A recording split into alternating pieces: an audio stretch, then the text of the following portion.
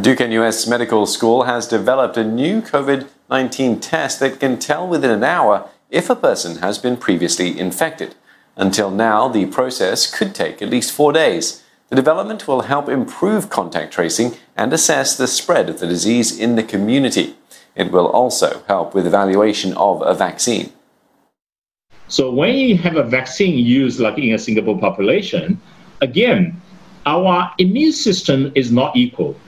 So if you vaccinated, you may produce a really good neutralization antibody. And if I get vaccinated, exact the same vaccine, I may not produce a high neutralizing antibody.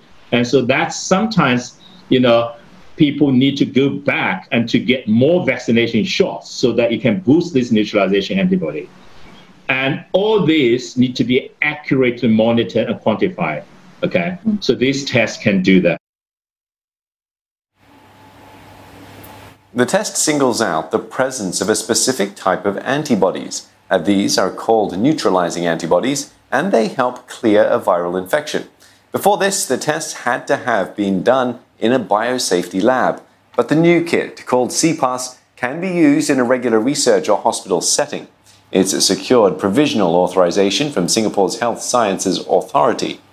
A pilot batch will be uh, produced for use in Singapore hospitals there are also plans to transfer local firms to allow for production to be stepped up.